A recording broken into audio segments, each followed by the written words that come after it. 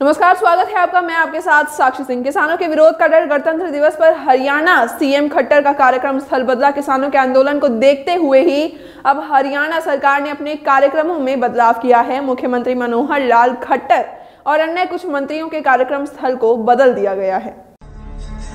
अश्विन ने ऑस्ट्रेलिया में भेदभाव पर किया खुलासा, नहीं मिलती थी लिफ्ट में जाने की इजाज़त। अश्विन ने कहा है, सिडनी में एक अनोखी घटना हुई। ईमानदारी से कहूँ तो ये अजीब था। भारत और ऑस्ट्रेलिया दोनों एक ही बायो बल में थे। लेकिन जब ऑस्ट्रेलियाई खिलाड़ी लिफ्ट में थे तो उन्होंने भारतीय खिलाड़ियों को लिफ्ट के अंदर जाने की अनुमति नहीं दी। गलवान घाटी में जान गंवाने वाले कर्नल संतोष बाबू को मिलेगा महावीर चक्र। कई जवान होंगे सम्मानित। अपने साथी जवानों के साथ गलवान घाटी में चीन को मुंहतोड़ जवाब देने वाले शहीद कर्नल संतोष बाबू को इस बार महावीर चक्र से नवाजा जाएगा। बीजेपी वाले हथियार लेकर आए तो अपने बर्तनों के साथ तैयार रहो, ऐसा कहना है बंगाल की ममता बनर्जी का। महिलाओं से अपील करते हुए पश्चिम बंगाल की मुख्यमंत्री ममता बनर्जी ने कहा है कि अगर बीजेपी हथियार और बम लेकर निकलती है तो अपने बर्तनों के साथ तैयार रहें। मुंबई किसान रैली में पवार बोले, राज्यपाल के पास कंगना से मिलने का वक्त किसानों से नहीं। मुंबई के आज़ाद मैदान में सोमवार को हज़ारों की संख्या में किसान जुटे। कृषि कानून के खिलाफ दिल्ली में जारी किसानों के आंदोलन का समर्थन किया गया। एनसीपी प्रमुख शरद पवार ने भी यहाँ आए, किसानों को संबोधित किया और केंद्र पर निशाना साधा। सिक्किम में बॉर्डर पर झड़प में 20 चीनी सैनिक जख्मी। सेना ने बताया मामूली झड़प सिक्किम में नाकुला में भारत और चीन के सैनिक भिड़ गए हैं। भारतीय सेना ने कहा कि ये दोनों देश की सेनाओं के बीच हुआ मामूली झड़प था। स्थानीय स्तर के कमांडर्स ने तुरंत इस विवाद को सुलझा दिया। वरुण धवन ने शेयर की हल्दी सेरेमनी की तस्वीरें, चर्चा में शर्टलेस पोस्ट लंबे समय के इंतज़ार और ढेर सारे उत्साह के बाद अब वरुण धवन और नताशा दलाल पति पत्नी बन चुके हैं। दोनों की शादी को लेकर चल रही सभी अफवाहों को सच करते हुए एक्टर ने अपनी लेडी लव से रविवार यानी कि 24 जनवरी को शादी की और मीडिया के सामने अपनी दुल्हनिया संगाई। कोरोना संकट में भारत के टॉप अमीरों ने इतना कमाया कि हर गरीब को मिल सकते हैं। चौरानवे हज़ार रुपए ओ एक्स एफ़ एम की रिपोर्ट के अनुसार मार्च 2020 से दिसंबर 2020 के बीच लॉकडाउन और अन्य परेशानियों की वजह से जहाँ करोड़ों लोग और गरीब हो गए हैं, वहीं दुनिया के टॉप अमीरों की संपत्ति में करीब तीन दशमलव नौ ट्रिलियन अमेरिकी डॉलर का इजाफा हुआ है। पति के देखे एक सपने की वजह से महिला बन गई। चार सौ सैंतीस करोड़ रुपए की मालकिन। कोरोना वायरस महामारी की वजह से एक महिला को नौकरी से निकाल दिया गया, लेकिन इसके कुछ वक्त बाद ही वो चार सौ सैंतीस करोड़ रुपए की मालकिन बन गई। असल में कनाडा के टोरंटो में रहने वाली महिला ने एक लॉटरी में 60 मिलियन अमेरिकी डॉलर की राशि जीत ली। लेकिन महिला को लॉटरी में इतनी बड़ी रकम नहीं मिल मिली होती अगर उनके पति ने एक सपना नहीं देखा होता। ट्रैक्टर रैली से पहले अमित शाह ने बुलाई अहम बैठक। आईबी चीफ और दिल्ली पुलिस कमिश्नर रहेंगे शामिल। कृषि कानून के खिलाफ आंदोलन कर रहे किसानों को गणतंत्र दिवस के मौके पर ट्रैक्टर रैली निकालने की इजाज़त मिल गई है। इसी को लेकर दिल्ली की सुरक्षा काफ़ी सख्त कर दी गई है। किसानों को कुछ निश्चित रूट पर एंट्री की इजाज़त मिली है। इस बीच सोमवार को ही मुंबई में भी किसान आंदोलन का नज़ारा दिखेगा, जहाँ हज़ारों की संख्या में किसान जुट रहे हैं।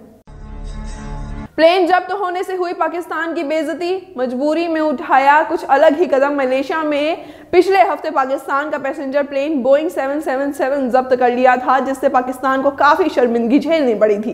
दरअसल पाकिस्तान ने वियतनामी company Peregrine Aviation Charlie Limited से लीज पर प्लेन लिए थे, जिसका भुगतान न करने की वजह से 15 जनवरी को मलेशिया में बेंग 777 प्लेन जब्त कर लिया गया था। फजीहत होने के बाद पाकिस्तान इंटरनेशनल एयरलाइंस ने अब लीज पर लिए प्लेन की बाकी रकम अदा करने का फैसला किया है। पाकिस्तान इंटरनेशनल एयरलाइंस यानी कि पीआईए ने पेरेग्रीन एविएशन चार्ली लिमिटेड के साथ कोर्ट के बाहर सुलह कर ली थी।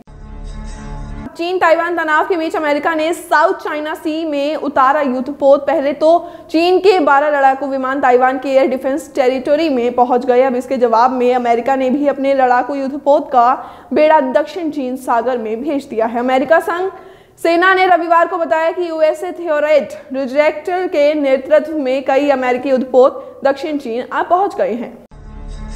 प्रेमिका ने किया सुसाइड, दुखी प्रेमी ने आत्महत्या से पहले वीडियो बनाकर की शिकायत। तेलंगाना के चितुर से एक दिल दहला देने वाली वारदात सामने आई है, जहाँ एक प्रेमी कहानी का दुर्भाग्यपूर्ण अंत हो गया। दो प्रेमियों ने शादी के लिए अपने परिवार वालों को मनाने की बहुत कोशिश की, लेकिन आखिर में लड़की ने तेलंगाना गाँव में आत्महत्या कर ली और दूसरी तरफ़ प्रेमिका की मौत की खबर सुनकर प्रेमी भी आहत हो गया, दुखी होकर उसने भी दुबई में आत्महत्या कर ली।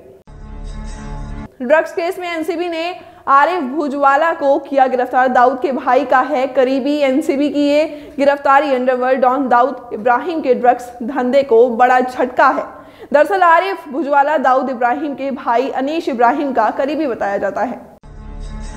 प्रिंसिपल दंपति ने की बेटियों की हत्या, बोला सोमवार से सतयुग है, फिर जी उठेंगी। अंधविश्वास के चक्कर में पढ़कर माँ बाप ने ही अपनी दो युवा बेटियों को ही जान ले ली। ये घटना चित्तौड़ ज़िले के मदनापल्ले कस्बे में रविवार रात को हुई। मुंबई में रेप के लिए चार्जशीटेड था शख्स डीएनए टेस्ट के आधार पर मिली जमानत। मुंबई में स्पेशल चाइल्ड स्कूल में सातवीं कक्षा में पढ़ने वाली मूक और बधिर लड़की ने 23 जुलाई 2019 को पेट में दर्द की शिकायत की। उस वक्त की वो स्कूल में ही थी। लड़की के घर वाले उसे अस्पताल ले गए। वहाँ पता चला कि वो प्रेग्नेंट है। पीड़ित महिलाएँ दौसा के सूर्य मंदिर के पीछे के इलाके की रहने वाली हैं। इन महिलाओं के साथ थाना के बंद में एक ढाबा चलाने वाले विष्णु गुर्जर ने रेप किया है। दरअसल, आरोपी विष्णु गुर्जर एक महिला के साथ पिछले एक साल से दुष्कर्म की वारदात को अंजाम दे रहा था।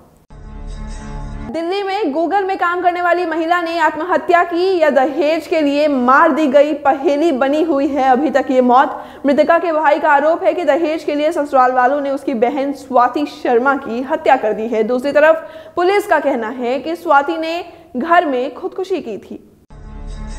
उत्तर प्रदेश में साइबर अपराधियों पर लगेगी लगाम। नोएडा पुलिस ने किया माइक्रोसॉफ्ट संकरार। नोएडा के पुलिस कमिश्नर आलोक सिंह और माइक्रोसॉफ्ट इंडिया प्राइवेट लिमिटेड के अधिकारियों ने एमओयू पर दस्तखत किए। एमओयू पर हस्ताक्षर के साथ ही नोएडा पुलिस दुनिया के उन चुनिंदा पुलिस सिस्टम में शामिल हो गई है, जहाँ साइबर क्राइम से लड़ने के लिए आधुनिक और सक्षम तकनीकों का इस्तेमाल किया जाता है।